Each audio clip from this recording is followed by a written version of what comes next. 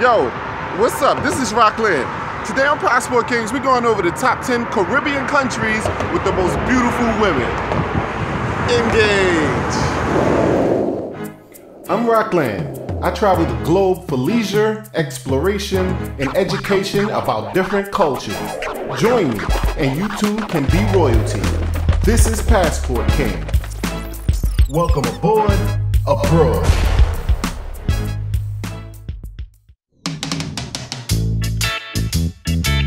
Excellent thing I learned about the Caribbean is it's easily reachable by cruise ship. There's pretty much a cruise ship traveling to these countries every week. Check out the Passport Kings cruise page to take one of these cruises for more than just seeing beautiful women, but for beautiful environments, excursions, and adventures. I look forward to reading your comments and your very own list. Leave it below. If there's one thing I learned by traveling, it's that people are different. I understand people have different opinions, and it's okay. No need to argue, so put your pitchforks away. Being sun-kissed by the excellent weather and diverse history has created some of the most beautiful women on earth. But living off tourism is not that appealing to a lot of the people in these countries. So they have fled their homes for better opportunities, but many of the black women we have accepted as African American are actually from many of these countries. And you may even be surprised to find out about some of these people's origins. Just remember, this is just a beauty contest and not necessarily about attitudes or opinions, even though nice bodies and shapes will help. Alright, so watch this commercial about the benefits of travel hacking, and I'll be back in one second. Have you gotten into travel hacking? If not, you certainly should. Don't pay full prices for flights when other people are not. May think it's a badge of honor to stay loyal to one company, but if they're charging their newer customers a lot less than they're charging you, you're the only loyal one. Why put extra money in a fat cat's pocket? You could save that money for your loved one. So check out the travel hacking site that I left in the description below. People are literally saving thousands of dollars on flights abroad.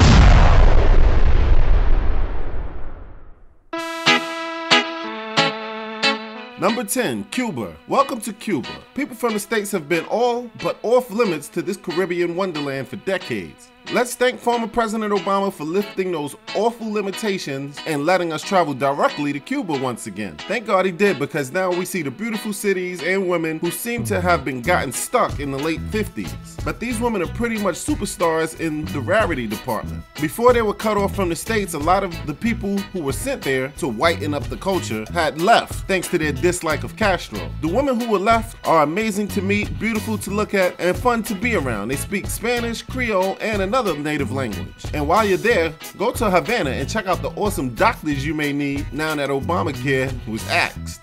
Number 9. St. Maarten. Don't forget about the second A when spelling St. Maarten. The culture is a blend of African, French, British, and Dutch heritage. I'll make it simple and say a mix of Africans and Europeans. This island is two countries mixed into one. The food on St. Maarten is a collaboration of tastes from Europe, the Caribbean, and Africa, and showcases a diversity of the island's people. And as diverse as the food is, the women are even more diverse. They took the best parts of both worlds and combined them into sheer beauty.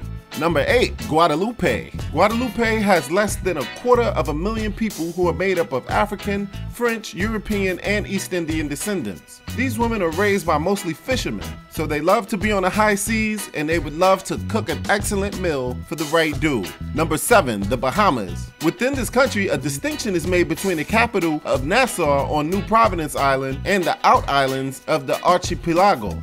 Foreign born women from the United Kingdom, the United States, Haiti, Canada, and other countries are referred to by their original nationalities regardless of citizenship or assimilation. So don't go jumping to conclusions thinking these girls are so exotic. They may actually be from your part of town. Number 6. The Cayman Islands. The women of the Cayman Islands have been influenced by Afro-Caribbeans of Jamaica, colonists of Great Britain, and more recent immigrants from the United States. Approximately 113 nationalities make up the women of these three islands that make up this country. So just like the islands mentioned before, there's a lot of different cultures mixed into one, and it's beautiful. Before I get to the top five, here are my honorable mentions.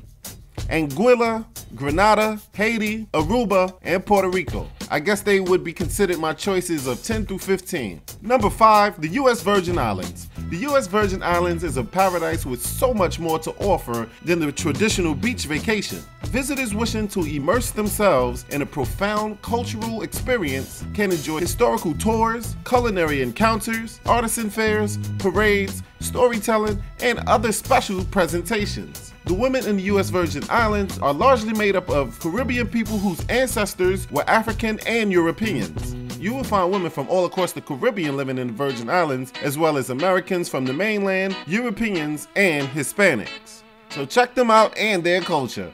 Number 4, Turks and Caicos. While there are some 40 plus cays that make up the Turks and Caicos Islands, only 8 of them are inhabited by people. The Turks and Caicos native women are called belongers, or Turks and Caicos Islanders, and are usually descendants from Africa.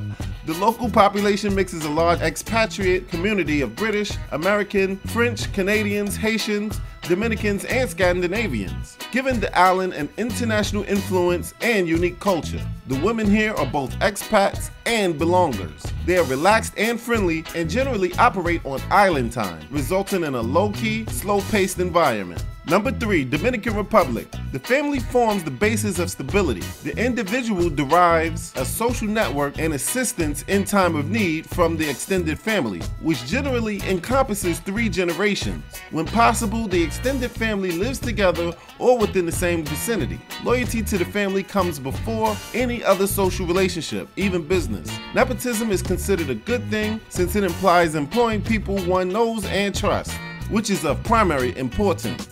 The oldest male in the extended family makes decisions affecting the balance of the family. Dominicans pride themselves on their hospitality.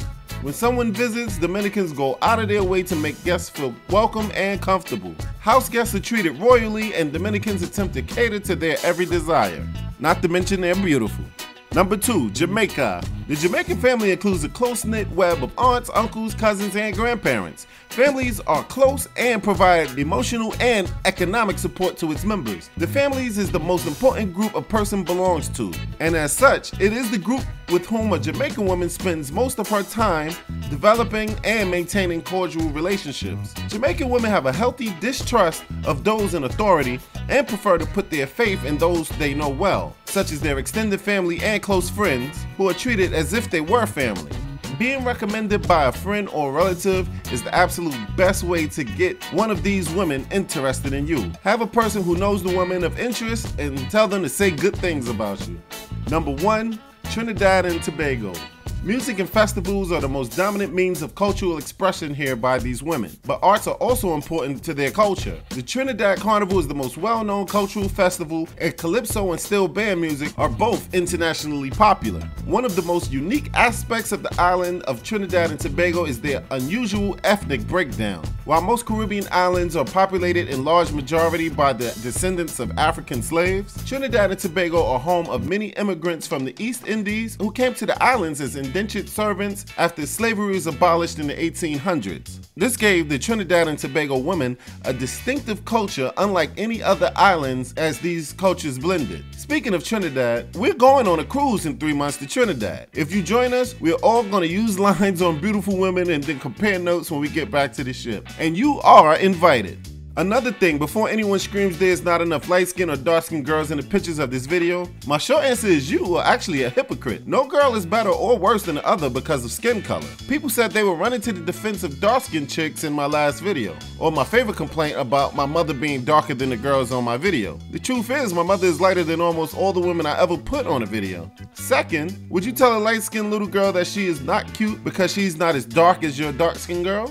Would you say it to her face because she's too light? And if so, so, what does that make you? They had no choice in deciding which hue their skin color would be. Third, who cares? And fourth, this is a video about countries to visit to see beautiful women. This video is not titled, here are pictures of the most beautiful women in the Caribbean. And if they are lighter than what you would have liked, it's okay. Opposites attract, and there's nothing anyone can do about it. And it has nothing to do with colonialism or self-hatred. Lastly, and most importantly, and I've been wanting to say this for years, brown skin is not a hue that belongs on a scale from dark to light. So unless other options in your argument includes black skin, red skin, or blue skin, saying someone is brown skin makes no sense. It's either dark or light or a color. So take my word for it, the Caribbean is filled with beautiful chicks. But I know that's not the only reason why people should travel is always running around chasing chicks, but it's always a good icing to have on the top of the cake. So always explore all the beautiful Caribbean islands like a king of passport king.